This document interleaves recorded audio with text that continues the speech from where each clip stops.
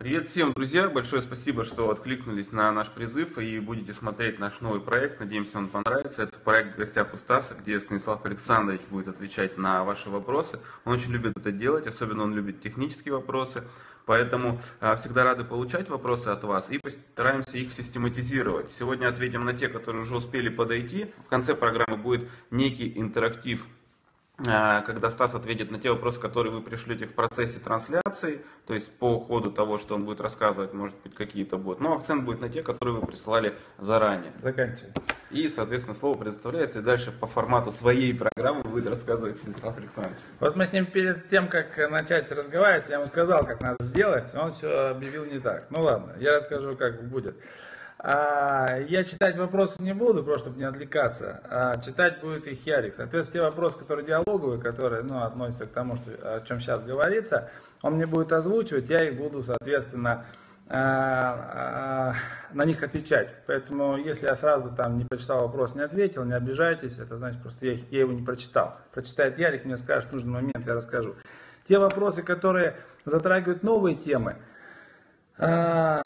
чтобы просто ну, Э, не перескакивать с, с темы на тему, а мы как бы там обобщим и э, в следующих там, как говорится, там встречах будем э, обсуждать. Вот, я так хочу сделать. Вот, поэтому очень жаль, что вот в прошлый раз, когда мы там э, после гонки разговаривали, там было много вопросов, э, как-то их сразу не зафиксировали, а тоже я не мог на них ответить, потому что там не прочитал. А потом через сутки, соответственно, запись стерлась. Я не помню, какие там вопросы были, поэтому извиняюсь. А, ну, впредь постараюсь, скажем так, вопросы не игнорировать. А, значит, э, я, честно говоря, думал, что будет э, больше технических вопросов, ну как технических, э, связанных непосредственно с какими-то аспектами той деятельности, которой мы занимаемся, и в которой у меня есть определенный опыт и какое-то понимание. Вот, потому что я так знаю, что достаточно многим это интересно, что со мной а, эпизодически встречаются, спрашивают а, какие-то моменты, вопросы. Я так заметил, что вопросов, а, ну, они часто повторяются. Есть очень много таких вопросов, которые я называю заблуждениями. Не об этом и хотелось поговорить. Но, как ни странно, большая часть вопросов была общего характера, как называют такие малаховские вопросы. Ну, то есть, поболтать о том о сём, без какой-то реальной конкретики. Но если это интересно, я, конечно, это отвечу. Вот, поэтому э, не буду, что называется, некорректным, э, не буду игнорировать вопрос, постараюсь на все так или иначе ответить. Благо их не так много. Вот, но не на все. А часть вопросов, они все-таки технического характера, их уже можно как-то обобщить. Я их зачитаю в конце и э, скажу, допустим, о чем мы будем говорить там в следующий раз, на мой взгляд. Ну, что Понятно, мне бы интересно говорить не, не только на те вопросы, на которые вам интересно а, узнать ответ, а на которые мне интересно что-нибудь ответить. Вот, потому что тогда будет а, взаимный интерес и будет, а, получится, на мой взгляд, лучше. Все, поэтому сейчас, наверное, начну а, с а, просто вопросов, назовем так, малаховского типа. Вот, а, начнем с, конечно же, с вопросов, которые задают дамы. Вот Анастасия спросила, сколько раз в день питается Стас, это очень важно. А, не совсем понимаю, кому важно, мне или Анастасии, но питаюсь нормально. А, иногда один раз в день, с утра и до вечера, это обычно на гонках происходит. Потому что у меня есть такая особенность, когда я нервничаю, я ем. Вот, поэтому а, чем быстрее едет Коля, тем я больше нервничаю и тем больше ем. Поэтому во время гонок я сильно толстею. А в остальные дни питаюсь по возможности, обычно там ну, раза три в день. То есть не голодаю. Вот, наоборот даже, постоянно борюсь с лишним весом, с переменным успехом. Зимой вес побеждает, летом удается немножко похудеть. Ну такой, как бы медвежий цикл я его называю. Вот, все как у медведя.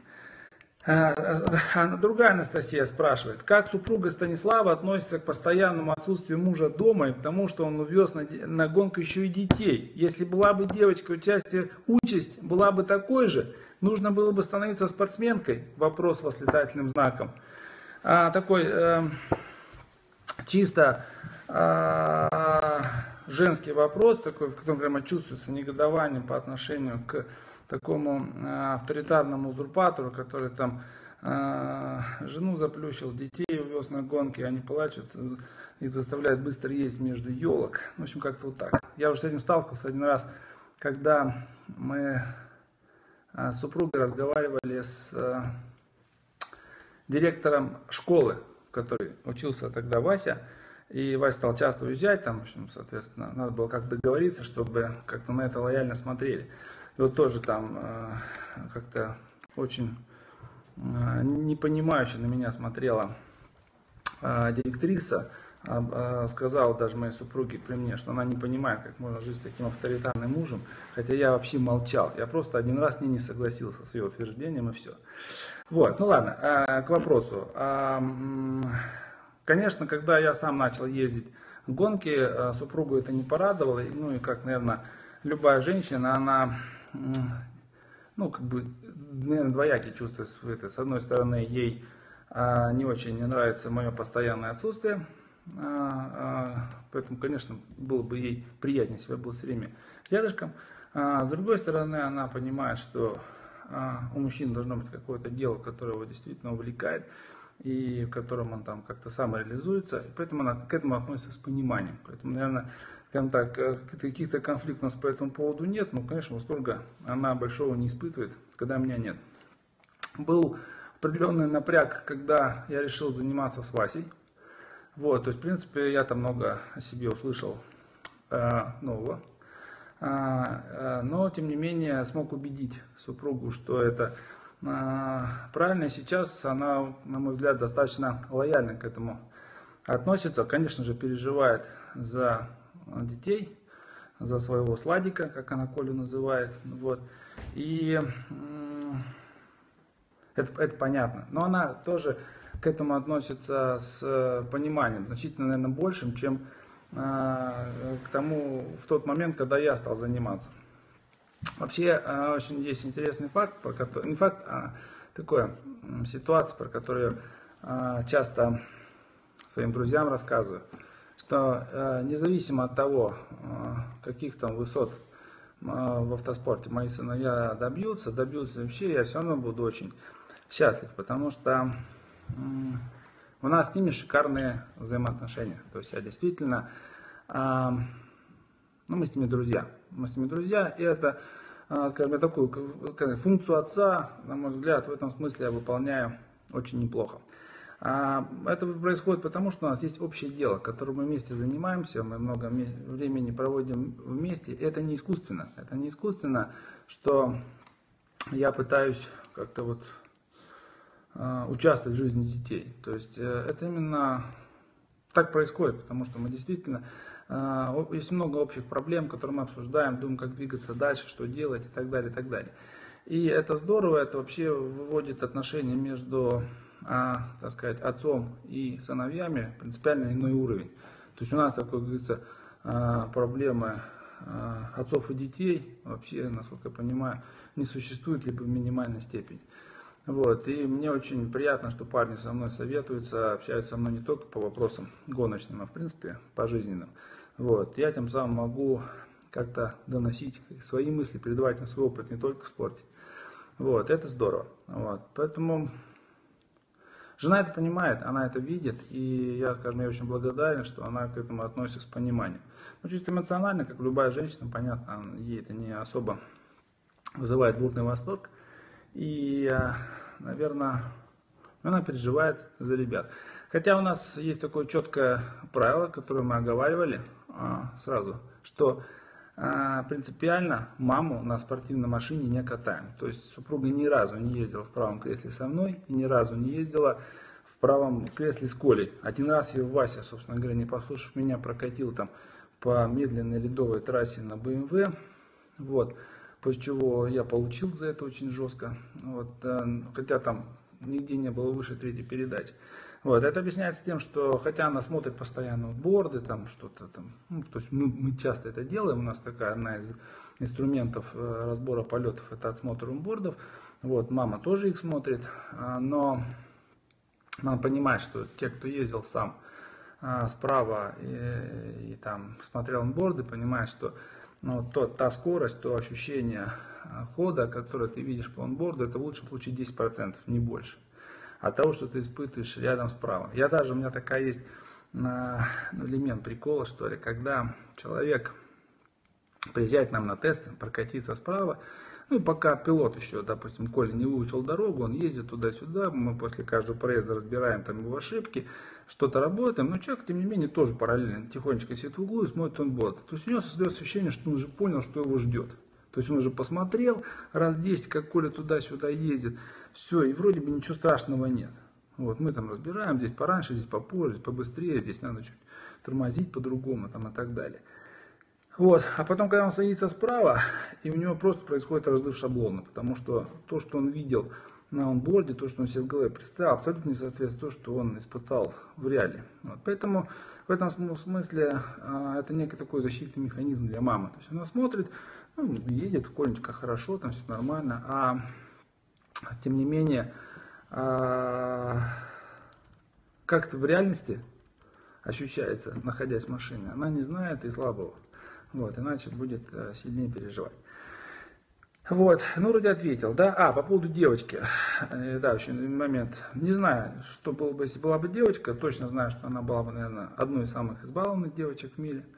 Вот, э, пацанов я не заставлял. И, и надо же понимать, что это не мое какое-то, как это, мое желание, но ни в коем случае оно не только мое, оно обоюдное. Я в детстве пытался их как-то приобщить к автоспорту, даже картин купил. Вот Вася проехал один круг, а Коля даже не подошел к нему.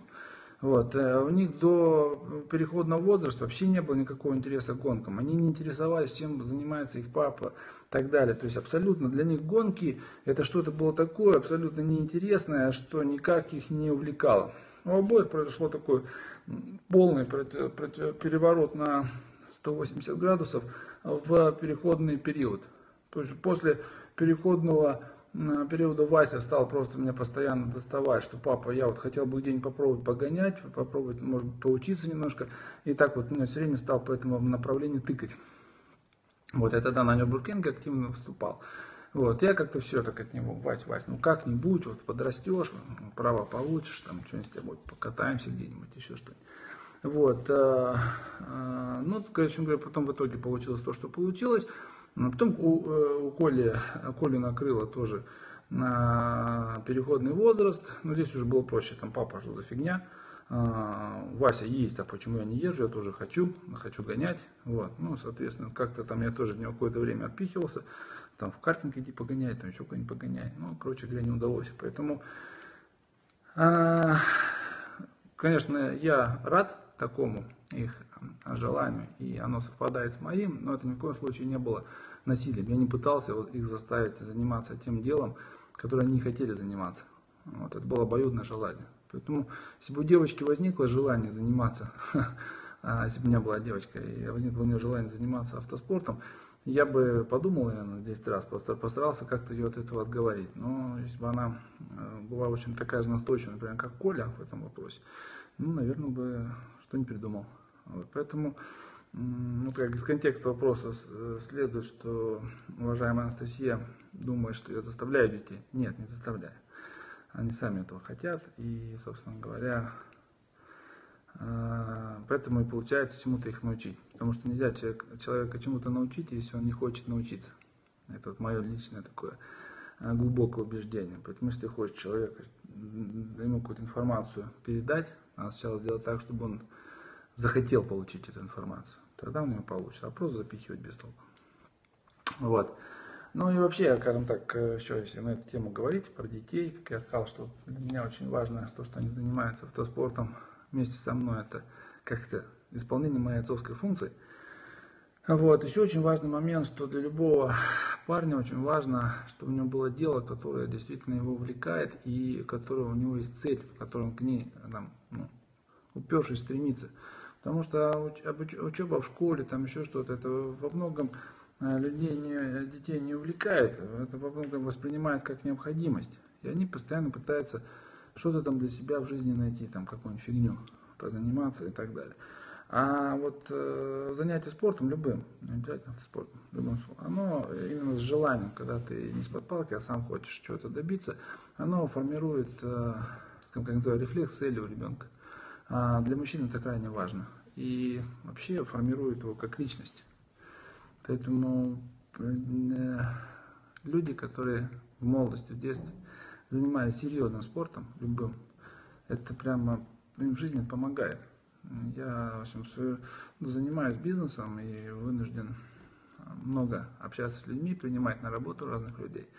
Я с большим всегда пиететом отношусь к людям, кто имеет там какую спортивную степень, серьезную, который заработал в детстве. Это сразу говорит о каких-то чертах характера, которые однозначно помогают в работе.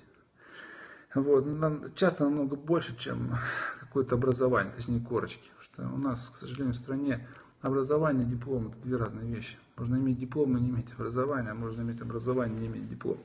Вот, поэтому, а вот если ты мастер спорта, не знаю, там, а, почему-нибудь серьезному, где не так просто это получить, это говорит уже о человеке.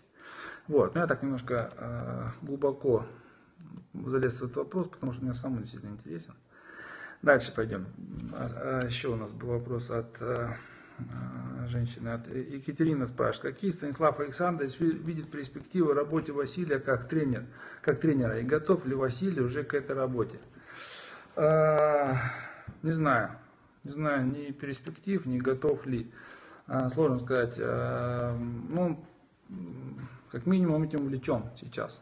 Он хочет Э, чему-то научиться. И действительно, у других э, ребят, э, кто этим уже занимается не первый год, у них учится, учится именно учить, потому что уметь быстро ездить это одно, уметь научить это немножко другое. А, нет у меня большой уверенности, что у него получится хорошо давать вот эту начальную подготовку, так, спортивную.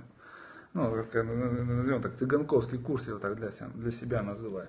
Что Вася здесь сам его там получал в определенном нестандартном формате и э, не видел, как это вообще людей обучают. У него нет опыта обучать людей уже с какими-то э, большими, как бы серьезными неправильными стереотипами. А любой человек, который ездил на машине, там, не знаю, уже лет 10, он его сложно, сложнее намного научить, чем человек, который вообще ничего делать не умеет.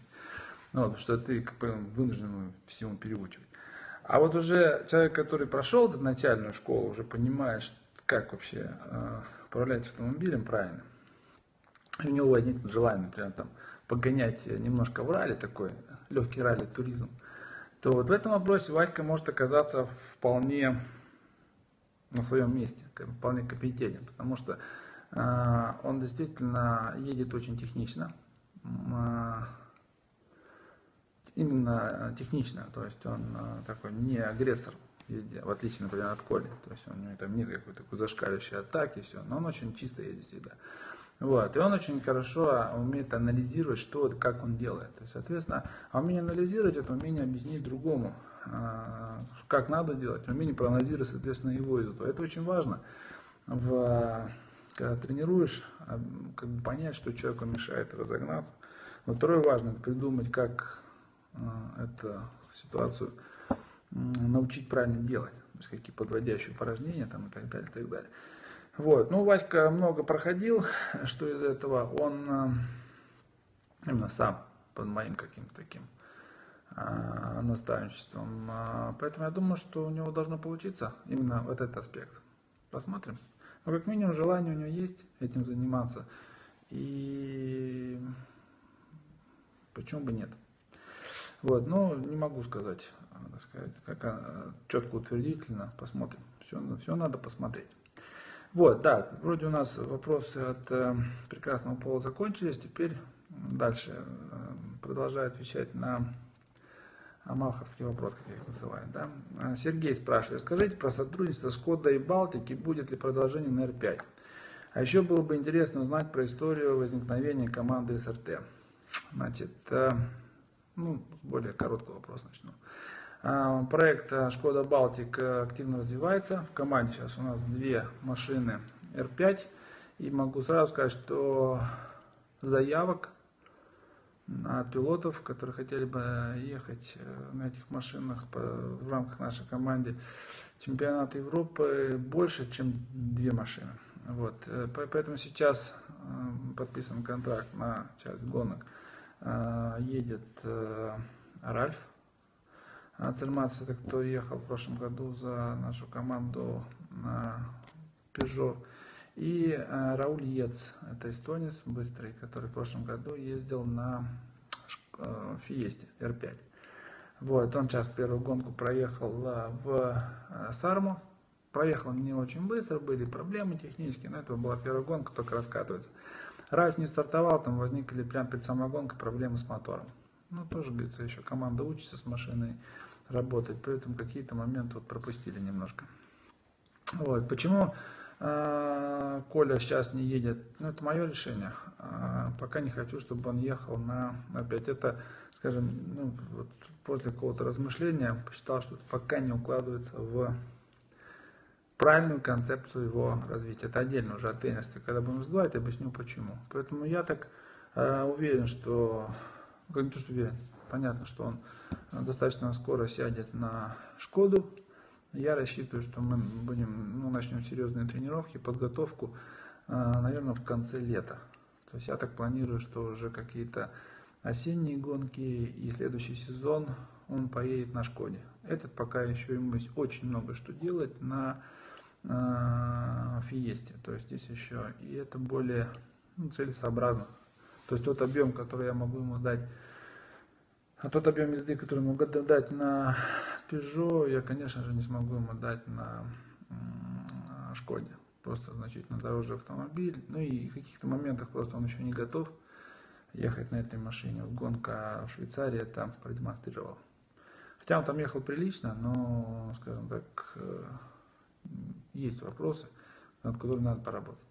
На другой, более простой технике. Вот, поэтому со Шкодой все развивается даже лучше, чем я предполагал. Вот, и надеюсь, что Коля скоро тоже, так сказать, вольется туда, как один из пилотов. А, про возникновение команды СРТ.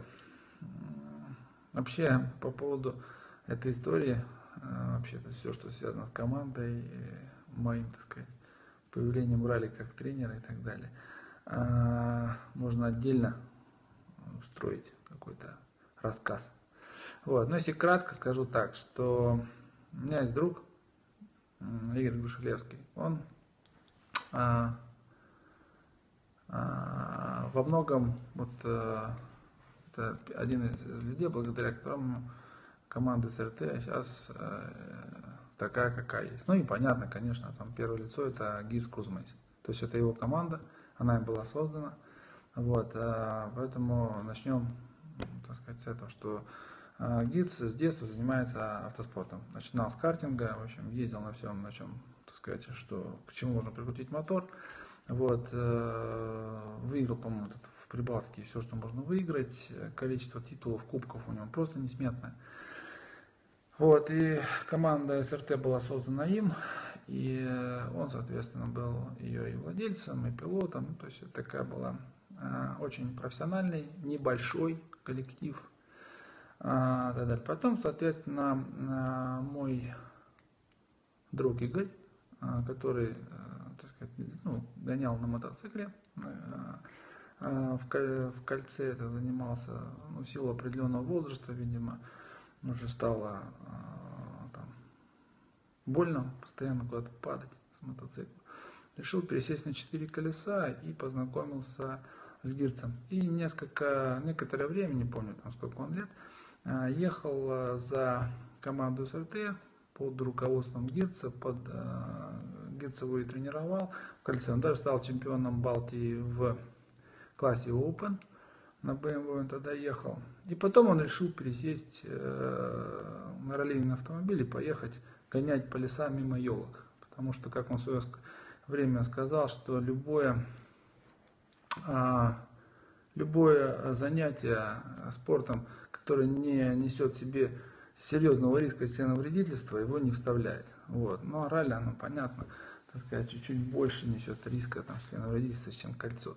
Вот, и поэтому оно его стало привлекать. А, ну, он ко мне обратился, Стас, научи, как стенограмму писать. А хотя для себя уже а, тогда решил, что не-не-не, я вообще сказать, автоспорт завершил. Больше ним не занимаюсь, и вообще про него хочу. Вот, ну Игорь отказать не мог, а, мы с ним начали заниматься по стенограмме. Как раз вот когда я там в своей статье стенограмму писал, там был некий такой пример, как вот некий Нафаня, которого там вот э, такой, э, над которым э, тренер там изгаляется и всяческие эксперименты проводит. Вот это как раз я Игорь описывал. То есть поэтому в этом смысле я на нем отработал какую-то свою технологию. А потом он говорит, а может ты меня еще и заодно потренируешь, там, как правильно ездить? Ну что, давай попробуем, все. Он говорит, говорит, у меня говорит, вот вопрос, с какой командой надо а, начинать работать, что вот те, те, те есть. Ну, мне вот очень нравится с Гибсом работать. Э, э, хотя он, конечно, в ралли команды никакого опыта не имеет. Вот, он нас познакомил с Герцем, мы там проехали там несколько а, там, тренировок, гонок, там что-то еще как-то начали. После я сказал и говорю свое мнение, что лучше дать возможность а, именно Кирцу получить опыт, делая какие-то, может быть, ошибки, там еще, еще что-то. Но, в общем, это будет иметь значительно больше перспектив, чем сейчас уже каким-то э, с имеющимися раллийными коллективами договариваться. Мне кажется, что вот у Гитца есть больше перспектив. А, могу сказать, почему я такой вывод сделал, потому что, ну вот, э, все-таки э, спортивная команда, руководство команды это в какой-то мере бизнес, ну в большей степени бизнес. И немножко, когда ты занимаешься гонками, когда ты с такими командой общаешься, немножко неприятно это видеть, когда у человека бизнес всегда впереди. Вот мне, допустим, на Нюрнбургкинге, когда ты разобьешь машину, для тебя это там неприятное ощущение, все. А команда просто в восторге. Для нее это хороший бизнес. Сейчас они, говорится, отремонтируют машину там за 5 а, тысяч евро из страховой компании получат 10, с тебя что-то еще получат. И у них просто день удался. Вот. А если ты привез машину без царапин, ну даже как-то не особо интересно. Вот это вот такие вот моменты, они как лично меня всегда напрягали. А вот Гитц у него, он сам спортсмен, очень серьезный, поэтому он для него спорт всегда был впереди бизнеса. Это всегда было видно и сейчас видно, и а, это очень ценная а, ситуация. То есть он действительно болеет сильно и все делает для результата. А, ну и так как-то у нас вот получилось а, такое сотрудничество. То есть у нас тогда было три пилота в команде. То есть э, Вася, вот Игорь и э, Женя еще. И, соответственно, команда стала развиваться. Ну и в данном случае, когда э, ГИЦ получил такой, говорится, возможность для старта, что называется, потренировался на, на кошечках, то дальше уже стопроцентная заслуга. Команда стала развиваться, ну и до, так сказать, росла до того уровня, который, в котором находится она сейчас. Вот, наверное, вот так. Поэтому, если коротко, если подробно, там очень много, конечно, смешных историй было всяких разных. Вот. Ну, вот я считаю, что как-то вот э, так э, историю, если, как я ее вижу. Конечно, более подробно можно Гирца на эту тему поспрашивать. Вот. Э, тот, та эпоха, которая была, скажем, до, э, до раллийной эпохи, а вот уже раллийная, она вся была при мне, поэтому здесь я могу кучу никаких э, смешных моментов рассказать. Ну, действительно, было очень интересно, приятно вспомнить разные, разные моменты. Вот, э, я очень рад, что команда дальше развивается, что сейчас вот переходим на серьезную технику. Вот, и наличие таких перспектив радует. В этом смысле, конечно, я очень э, доволен, что познакомился в время с Гирцем, и это во многом благодаря этому произошел какой-то вот этот э, такой мой мое возвращение в ралли с моими сыновьями. То есть, наверное, не будет Гирца, я бы не стал вот тогда придумывать все это, организовывать и так далее. То есть вот как-то оно все сложилось. Вот поэтому я еще говорит, очень сильно Гирцу за это благодарен, потому что он, так сказать, во многом благодаря ему занимаюсь тем, чем сейчас занимаюсь. Вот, э, следующий вопрос. Э, Дмитрий спрашивает, когда выступаете на таком уровне, поступает ли предложение от спонсоров или участие в соревновании на свои? Станислав Александрович ведет тренерскую работу с другими экипажами, кроме своих сыновей. А, ну ведет ли? А, значит, э, нет, не поступают, ездим за своим. К сожалению, так. Ну, это, в общем, вообще у нас спонсорство он такое именно носит э, вид меценатства, потому что он ну, коммерческий, действительно, я прекрасно понимаю, сколько а, автоспорт стоит, и достаточно сложно придумать какое-то коммерческое обоснование а, для какой-то компании, почему э, экономически будет выгодно вкладываться в автоспорт. Проще объяснить, что действительно не будет выгодно практически никогда. Вот, то есть это в большинстве случаев это, ну, может быть, какая-то только имиджевая реклама, а и то очень, в очень узком сегменте. А, в основном это все-таки у нас некое меценатство. А, почему так происходит? А, потому что у нас автоспорт вообще не популярен, у нас нет культуры гонок. Ну просто даже в огромной стране, в которой там значительно больше 100 миллионов людей, живет количество людей, которые занимаются автоспортом, оно просто ну, смехотворно мало, любым видом автоспорта. Я не, не делю там на ралли, кольцо, там кросс, просто очень мало. А, а скажем, ну, в той же Латвии, где мы сейчас находимся, при населении меньше двух миллионов а, постоянно проходят какие-то разные соревнования по катушке, еще что-то, и которые собирают потом по сотне экипажей, допустим, какие-то любительские здесь местные гонки, еще что-то. Здесь это просто очень популярно, поэтому даже я в свое время, когда занимался гонками, меня здесь постоянно узнавали на улицах, там кто-то долго просил что-то еще, ну то есть, э, а, то есть, скажем так, был такой некой медиаперсоной. А в России никогда никому ты не интересен, и не потому что, ну, потому что ты, как можно сказать, это никак не, не пиарится, ничего. Большинство людей вообще не понимает, там, чем ты занимаешься, зачем ты этим занимаешься. Потом вопрос спрашивает, а какие у вас призовые? Да говоришь, да нет никаких призовых, горшок лучше лучше дадут. Вот зачем ты этим занимаешься? Ну, это совершенно стандартный вопрос. То есть у нас четко такое понимание, что люди чем-то занимаются для того, чтобы деньги заработать. А если ты чем-то занимаешься, чтобы деньги потратить, значит ты какой-то, наверное, дебил.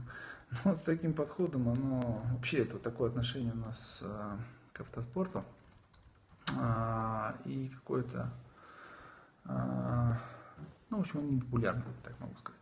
Поэтому э, сложно найти э, спонсоров Мецант существует. Ну, например, э, э, Женя Новиков э, ездил достаточно долго чемпионат мира, вот, и, в принципе, с определенными успехами на деньги господина Лепикова. И господин Лепиков, это, сами понимаете, это не бизнес, это было исключительно некая меценатство в стопроцентном виде.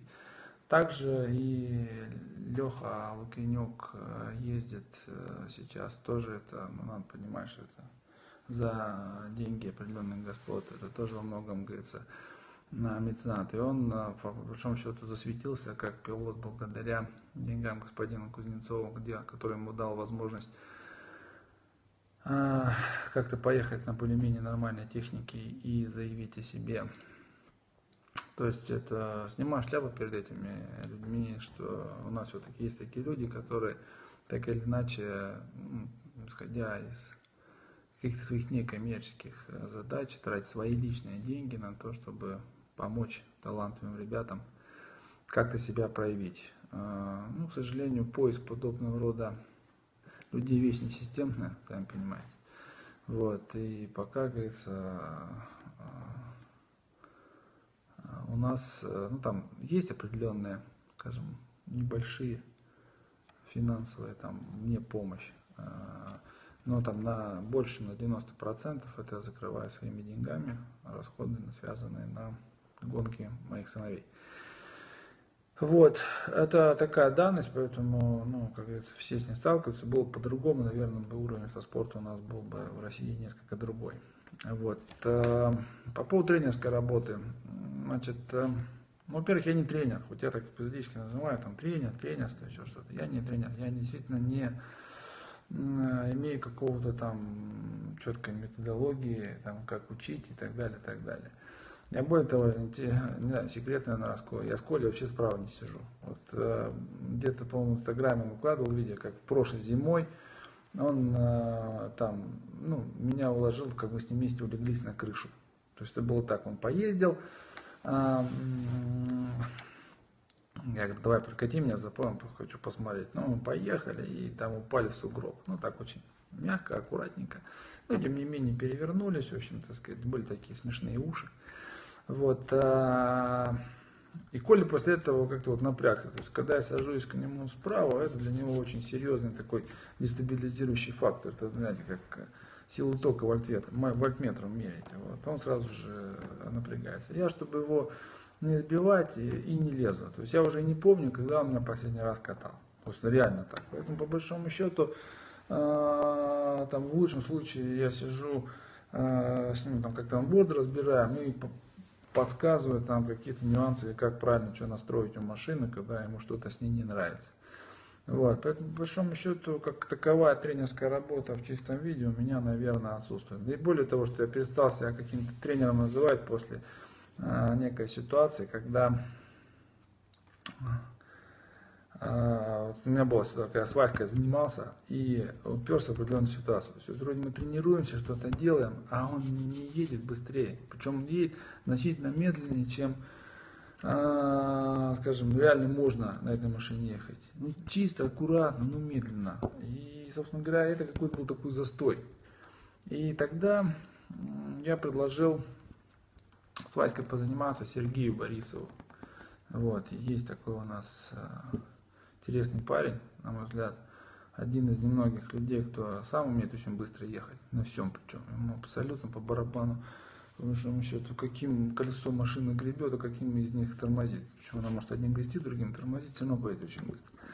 Вот. А, а при этом он умеет очень грамотно научить. Вот. Я как-то вообще как бы проникся к этому человеку, к его способностям, когда он на Небургринге а, там несколько гонок ездил, не относительно немного, но там сразу стал местной знаменитостью, потому что сразу поехал очень быстро, очень, так сказать, ну, то есть его там ходили, показывали, как, ну, как, как обезьянку в зоопарк, потому что, смотрите, пацан вот приехал, его сразу так валит. Вот, потому что там есть такое представление, что надо 10 лет там ездить, чтобы так поехать, а он приехал, сразу помчал. Вот, э, и так я сам ездил, а я, наверное, там могу оценить уровень его езды. Он действительно, скажем, ну, для меня недостижимый, честно могу сказать. И э, я Серега поговорил, говорю, давай так, э, по, пообщайся, э, ну, позанимайся с Васей. Единственное, говорю, что, не знаю, получится, не получится, так как ездим на супер, я тебя за руль не пущу. То есть получится у тебя разогнать Ваську, а, сидя справа и объясняя ему его нюансы. Потому что, говорю, в принципе, человек профессиональным автомобилем владеет. И он согласился, и, э, скажем так, я присутствовал при всех этих занятиях. У меня тогда, помню, такое а, это, сомнение, не сомнение, а да, такое, как это правильно сказать, сожаление возникло, что если бы я все время, когда принял решение завязать с автоспортом, с ралли, а именно по тем причинам, что я не видел возможности как-то в рамках э, э, тех ограничений, которые были у меня, там финансовых, временных и так далее, быстрее разогнаться.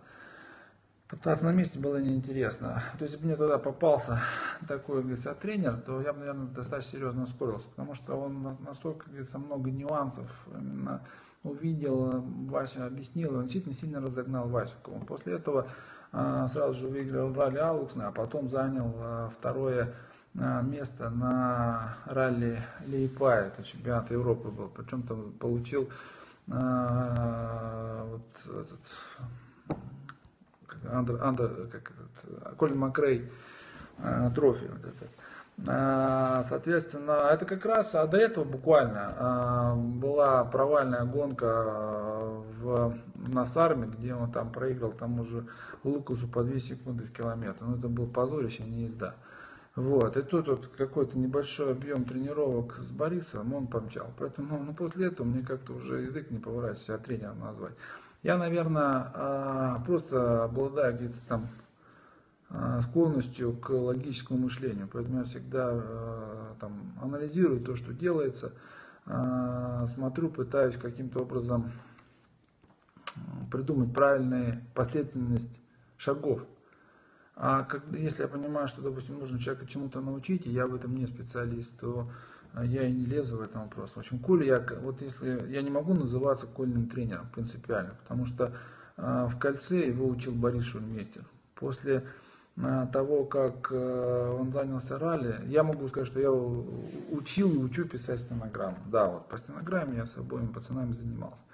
А с точки зрения как э, тренер, который учит быстро ездить, наверное, я не тренер. Поэтому, наверное, все-таки э, и одна, одна из причин, почему я не буду браться там, тренировать кого-то еще. Ну и вторая причина, все-таки для этого нужна какая-то мотивация. У меня есть такая жесткая мотивация личная, именно в отношении своих сыновей. А, у меня есть как бы там желание реализовать какие-то свои амбиции через них. Вот. А каких-то таких тренерских амбиций я особо не испытываю, и для меня это не бизнес. Поэтому кого-то еще тренировать я точно не буду. Вот. Но опять же, смотри пункт первый, я не тренер, это точно могу сказать. Вот. А... Так, на все я ответила, нет? А, нет, вот. Теперь пошли вопросы, как я понимаю, больше, которым, конечно, мне бы хотелось поотвечать. А, Максим спрашивает, если не секрет команды, какой алгоритм настройки автомобиля во время тестов? То есть грубо, сначала давление сделали, проезд не понравился, подспустим, потом подвеска, потом еще что-то. Аргументы, почему именно так, заранее спасибо. А, секретов нет никаких, расскажу. А, не совсем так мы, конечно, к этому подходим. Вообще это достаточно, на мой взгляд, а, большой вопрос, как правильно настраивать автомобиль, вообще надо ли его настраивать. Очень много в связи с этим, это, наверное, самый часто встречающийся вопрос, когда вот, наверное, люди как-то со мной пытаются пообщаться, задают вопрос, как правильно что там настроить. Очень много здесь, на мой взгляд, существует каких-то мифов, неправильных стереотипов, на мой взгляд, неправильных. Я не говорю, что мой взгляд правильный. Вот, э, поэтому я бы хотел об этом поговорить отдельно, а, но не сейчас, потому что это очень долго. Вот, поэтому расскажу и предлагаю, может быть, там одну из следующих э, там, перископов на, на, на, на эту тему сделать. Вот, а дальше, еще интересный вопрос. Э, Дмитрий спрашивает, какие были ошибки у штурмана Василия их приходилось менять. Как происходил поиск штурмана для Николая, почему был выбор сделан в пользу, в Ярослава. Э, четвертый вопрос. В чем отличие настройки автомобиля под Василия и под Николая? И пятый. Садится ли Станислав Александрович сам в руль на тренировку после того, как пилоты настроят автомобиль под, конкрет, под конкретную трассу, чтобы понять, в каком направлении они настроили автомобиль? Ну, я вот коротко, сам никогда не сажусь, уже разучился это делать и даже, даже не пытаюсь. Вот, э, с Васькой всегда сижу справа, потому что ему нравится меня катать, а мне нравится справа кататься, и я, честно говоря, справа больше понимаю, что с машиной происходит, чем когда сам за руль держусь. Вот, э, Коля, к сожалению, для, к моему сожалению, он меня не катает, поэтому пытаюсь, э, так сказать, настроить, помочь ему настроить машину с, с его слов и осматриваем борды с опытом уже очень, очень много видно и под, под действием пилота и так далее, и так далее. Я могу уже, осматриваем борды, очень много что сказать по настройке автомобиля. Вот. Э, ну, в общем, короче, о настройке, я думаю, что я вот в следующий раз поговорю и про особенности настройки под пилота и так далее, и так далее. Вот. А вот про, про штурманов отвечу. А, вообще я считаю, что штурманов э, желательно не менять. То есть, если есть возможность это, наверное, как, как, как, как, как с женой, да, собственно говоря, лучше один раз, говорится, жениться и, так сказать, пока смерть не разлучит вас. А вот, чем там кучу раз жениться, там, разводиться и так далее. Так, наверное, со штурмом, потому что всегда это э, болезненно, замена штурмана всегда это, так сказать, какой-то шаг назад. Вот, уж точно э, не повод за какую-то ошибку а, штурмана его а, выгонять, скажем так, из команды. Вот э, на тестах, где Коля приехал в какой-то там сарай каменный. Сначала Ярослав ему медленно, поздно прочитал один медленный поворот, и Коля просто упрыгал в поле. Потому что там было поле, а не лес, потому что, ну, откровенно почитал поздно, там уже нельзя было остановиться и так далее. Ну, я его даже не бил, честно скажу, вот, соответственно. Поэтому э, все ошибаются, и пилот ошибается, и штурман ошибается. Просто вопрос совершенствуется он, хочет ли он стать лучше и так далее, и так далее. Вот. Э, вообще, собственно говоря, там про штурманов это такая отдельная, отдельная тема. Поэтому э, там, если говорить про Васних штурманов, э, Гоша ушел сам. Это, так сказать, не мое было решение. Потом была попытка там как-то найти штурмана Васю, вот, э, договорились с Димой Чумаком. С Димой Чумаком расстались, это уже была моя инициатива по определенным аспектам, не связанным, собственно говоря, с тем, как он читает. Иногда, насколько он профессионально это делает, он хороший парень, он хороший штурман. Вот, но там по определенным аспектам мне хотелось немножко другого там человека видеть в правом кресле у Васи. А, тогда, значит, с ним поехал Дима Еремеев. А, и, сожалению, там произошли определенные проблемы со здоровьем Васьки, после чего прекратили заниматься. Почему я скажу, собственно говоря, не стал дальше работать э, с Димой Еремеевым, потому что у него тоже возникли проблемы. Вообще, собственно говоря, это был достаточно рискованный эксперимент. У Димки, он все то же время занимается такими экстремальными вещами. У него там травмированный позвоночник, у него была э, операция серьезная на нем. Ну, вроде как врачи скажут, что ездить можно. Но, тем не менее, после всех этих его там небольшого объема гонок с Васей, возник э, впоследствии рецидив, и было, он проводил, делал вторую операцию на позвоночнике, так что ему это покатушки с Васей тоже боком вылезли. Вот, поэтому понятно, что сказать, при том, что у него есть большое желание э, гонять справа, я бы с удовольствием с ним продолжу сотрудничество, но здоровье оно важнее.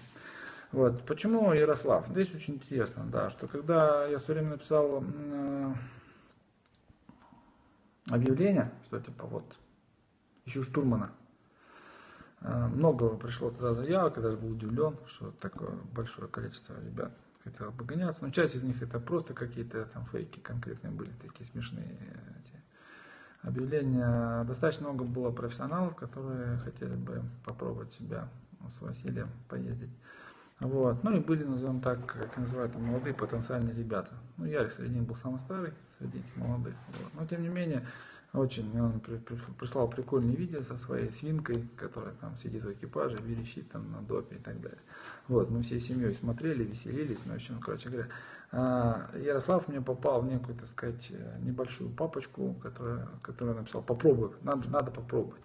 Вот. Ну, там, по большому счету, из этой, из этой, из этой папочки мы пробовали только с Алексеем Кузьмичем. И как-то мне этот, э, э, такой опыт а, сильно а, ну, как-то вот не захотелось дальше ничего пробовать. А, решили договориться все-таки с человеком профессиональным относительно, вот, с Димой Чумаков. Но, тем не менее, с Ярославом у нас был какой-то контакт, мы с ним познакомились. Самое, что интересно, у них, э, у Коли с Ярославом возник тоже очень хороший контакт. Хотя мы там с Ярославом практически после этого не общались, он мне там регулярно писал, какие-то, как они а, ездят, э, то есть какие-то там свои гонки, очень интересные отчеты, я с удовольствием всегда с ним переписывался, но у них очень было большое общение с э, Колей. И когда а, получилось так, ну я еще говорю, не планировал, чтобы Коля занимался ралли, то есть ну, изначально было такое, что он как в кольце себя развивается.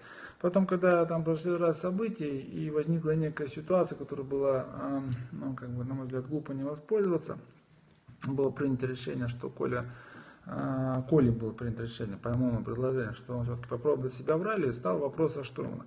Колька сам сказал, папа, а давай, говорит, вот Ярославом попробуем. Я говорю, ну, говорю, я говорю, не против, я говорю, готов, э, ну, ты сам понимаешь, хороший парень это не профессия, все-таки нужен быть э, хороший, сначала должен быть хороший штурман. Вот, ну, я готов, э, скажем так, сначала с ним попробовать, поэкспериментировать. Если увижу перспективу, то все хорошо. Если нет, то будем выбирать того, кто, так сказать, лучше будет именно как штурман. Вот, и мы тогда начали с Ярославом какие-то там совместные вдвоем тесты, то есть, что у меня до этого уже появился какой-то опыт в подготовке штурмана, где я там потренировался на Диме, Лебедике, на мой взгляд, вполне удачно. И мы начали заниматься Ярославом. Я, собственно говоря, э, был полностью, ну не полностью, полностью редко был удовлетворен.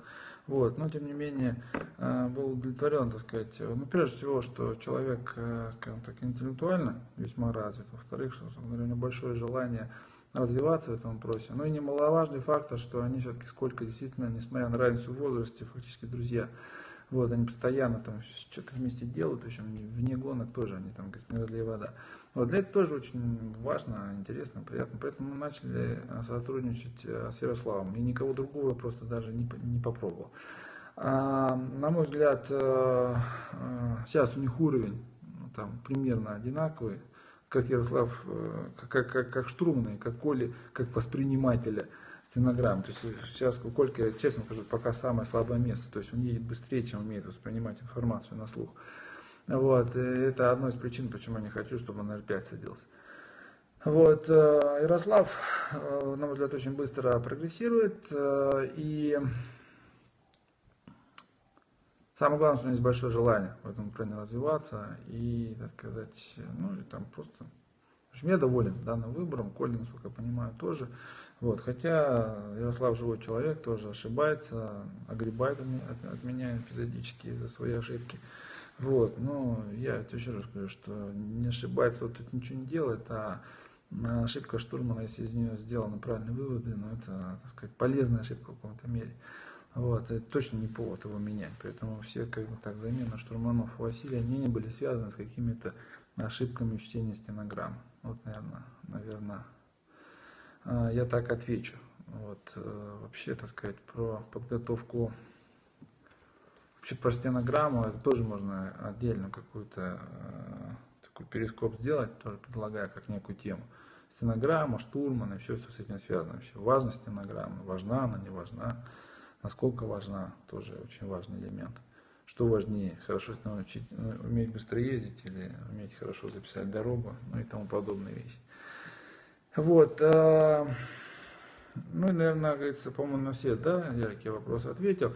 Еще, значит, от э, Владимира вопрос был. Станислав Александрович, скажи основные приемы увеличения скорости гонщика. Ну, основной прием он только один, надо больше тренироваться. Вот. А вопрос, как тренироваться, это э, быстро не ответишь. Итак, у меня тут уже Коля сидит напротив, и показывает разными неприличными жестами, что я уже с ума сошел, и уже все уснули, и никто так долго меня слушать не будет. Поэтому э, я уже ему тут тоже а, показывая пальцами на ноге, что сейчас закругляется. Поэтому да. А, поэтому вот основное надо тренироваться, а вот вопрос, как тренироваться и что делать, это, наверное, тоже вот еще одна из тем. Это особенно, как бы так, ну, как правильно спланировать тренировочный процесс вообще, что нужно пилоту, чтобы поехать быстро, чему надо тренироваться. То есть, даже по большому счету, э, ну, то есть, э, можно тренироваться и, и закатывать какие-то ошибки, а можно тренироваться и быстро двигаться вперед, ну, собственно говоря, имея такой максимальный прогресс. Это очень э, важный вопрос. Я не, не скажу, что там э, знаю, как это делать, но могу сказать, что провел много в этом направлении экспериментов и есть какое-то внутреннее понимание, а, а, что работает, а что не работает. Ну, не могу сказать, что вот я знаю, как это делать. Поэтому готов этим поделиться, рассказать, потому что, на мой взгляд, тоже интересная тема. Ну, вот я как вот накидал, получается, на, на, да, на все вопросы, которые до эфира, что называется, пришли. Я ответил, накидал три темы. Это настройка, тренировки и стенограмма.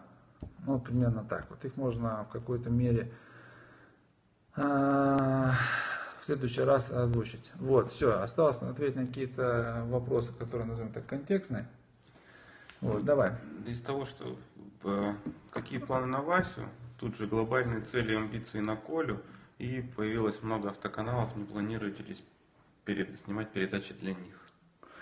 А, значит, планы на Васю. Ну, у Васи, у него действительно очень серьезная была травма, и на сегодняшний день он еще далеко не сильно восстановился. Более того, что ему предстоит э, повторная операция на левую ногу, которую там не собирали. Э, и после чего он опять, говорится, не сможет сесть за руль там достаточно долго, а там от трех месяцев до полугода. Это вот, не говоря уж о полном функционировании ноги.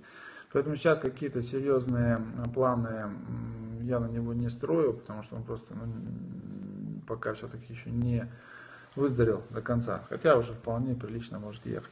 Ездить еще ходит плохо, а ездить уже нормально. А в этом году, когда э, с лета хотим попробовать наш этот проект Subaru, который команда тоже развивает, отдельно про него могу тоже рассказать. Интересный, мой взгляд, проект должен получиться. Вот, э, собственно говоря, э, из-за Васьки Наваля мы его как бы на год отложили. Э, задача весной будет, чтобы Васька научил эту машину ездить с моей помощью, потому что машина абсолютно, что называется, собственной постройки, и там нет каких-то базовых настроек. Хотя мы уже начали эту работу в прошлом году с Ральфом, надо ее довести до, до ума, до конца. И а, на ней Васька, наверное, проедет какое-то а, количество гонок, чтобы, так сказать, показать потенциал машины и так далее, и далее. Вот, в принципе, это некий такой коммерческий проект для команды планируется. Ну и я надеюсь, что, скажем так, Васька в нем поучаствует. Это что касается Васи. Какой еще был вопрос? Глобальные цели или амбиции на Коле? Ну, Коля пока меня очень радует, и прежде всего своими амбициями. То есть он, соответственно, хочет всех победить.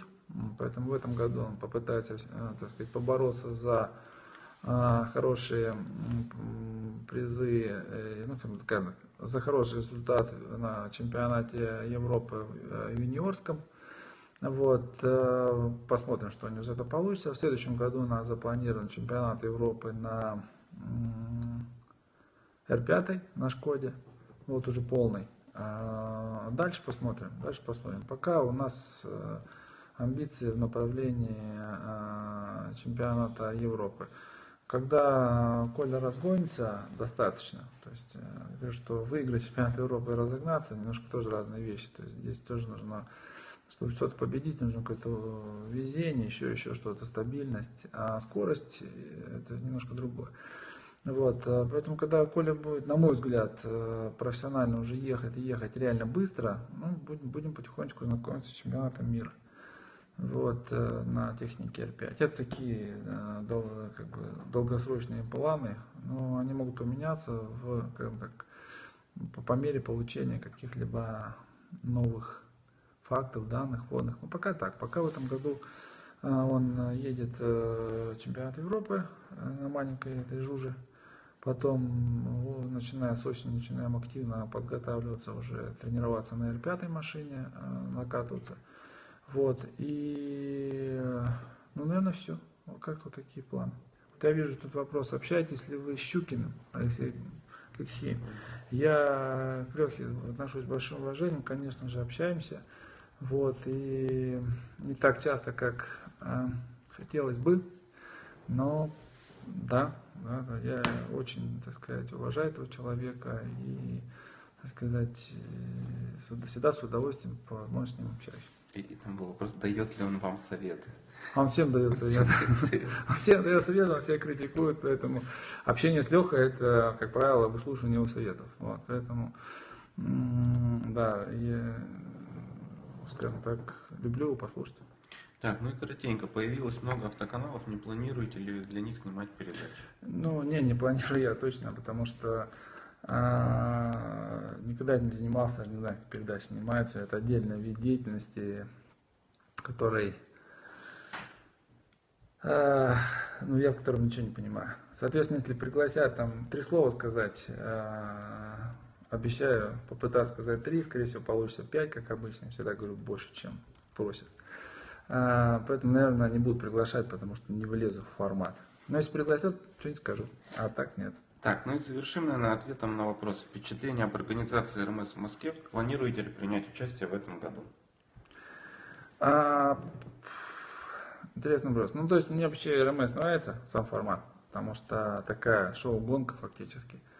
Вот, к сожалению, она потихонечку по разного рода причинам э, немножко теряет свою там зрелищность и красочность. А, на мой взгляд, э, пик ее такой вот именно, когда она была действительно классно организована, это была вторая гонка.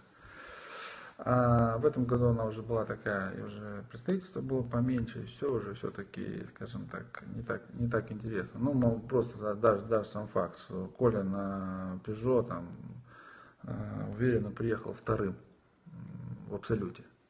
Ну, это, значит, вообще-то мне не на что было особо смотреть.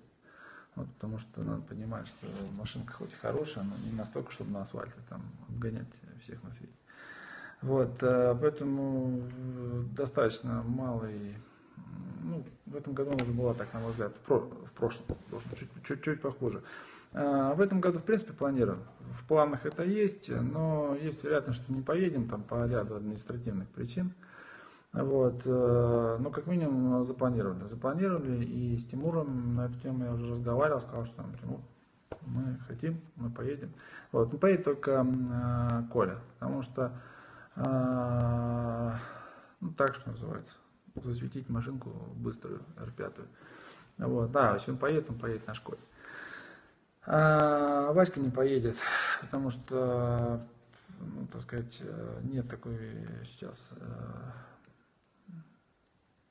две машины я тащить не хочу, потому что ну, Васька сейчас пока еще, конечно, не в той форме, в которой может показать свой потенциал все-таки ноги еще мешают достаточно быстро ехать. А, поэтому поедет Коля, очень надеюсь. Но еще раз говорю, что есть, к сожалению, определенные причины, а, не от меня зависящие. Мы сейчас как бы так пытаемся их как-то нивелировать, не буду про них рассказывать. Вот. Но есть вероятность, что и не поедем. Хотя в планах есть. В планах есть, она очень хорошо ложится с нашими, как говорится, выступлениями в других сериях. Что еще? Все, в общем-то. Ну, видите, как это, как, как, как, как здорово. Судя по пустому экрану, отсутствию всяких там сердечек, и вопросов, я всех утомил. Извиняюсь а, за столь долгий спич. Постараюсь э, в следующий раз а, быть более кратким. Но у меня это, к сожалению, не получается. Ну все, всем, всем пока. Да, друзья, мы наметили, значит, э, про, темы программ следующих. Тренировка пилота, стенограмма и штурман настройки автомобиля и про Subaru Cup. В любом случае, пишите, что в этой трансляции понравилось, не понравилось. И уже по этим темам присылайте свои вопросы. Вскоре мы анонсируем следующую тему, которая будет уже более узкой, специальной. Ну и традиционно большое спасибо, что смотрите. Увидимся в следующих включениях. Всем пока. Всем пока, до встречи.